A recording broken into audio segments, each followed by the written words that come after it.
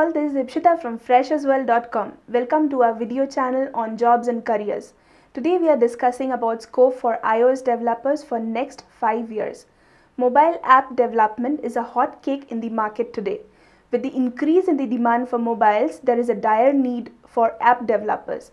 The iPhone, the iPod and the iPad are arguably the most popular products in the technological field and this rely on iOS to serve as their operating system.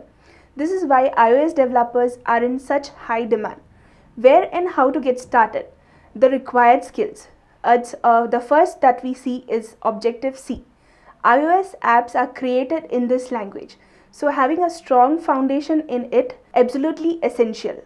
iOS. Within iOS there are host of frameworks and tools like adding text and images building views and handling user interaction that a developer must know. Third is Swift. Swift is Apple's programming language for iOS apps. Learning the fundamentals of programming is the foundation for building apps. Next is Xcode. Xcode is the development studio for creating Apple-based programs and apps. It's free to download and you can be very helpful if you become proficient in it. Interface Builder. It is a great tool by Apple that lets you create smart and eye-catching user interfaces via drag and drop. Next is version control. Learning to use a versioning system for code is an essential skill for any developer. Next, the frameworks.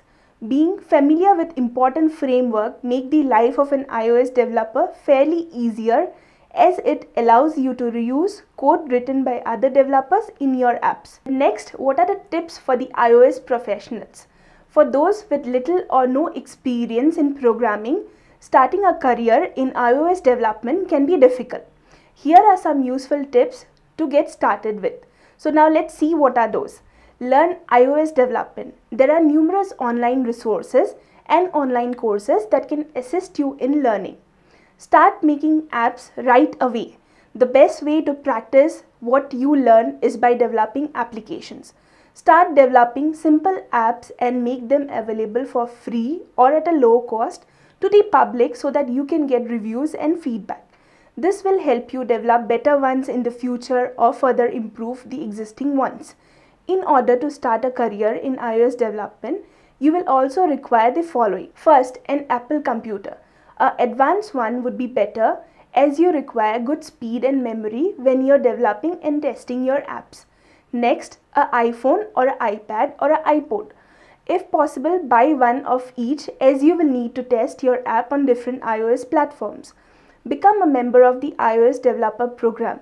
You need to become a member to access all the developer tools made by Apple. Uh, Coming to the salary, the average salary for talented mobile application developer is around 3 lakh per month.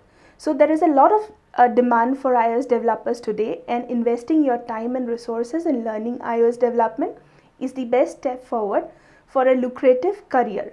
So please go through our freshersworld.com website for the latest iOS jobs in the current industry and please subscribe to our video channel for more videos. Thank you.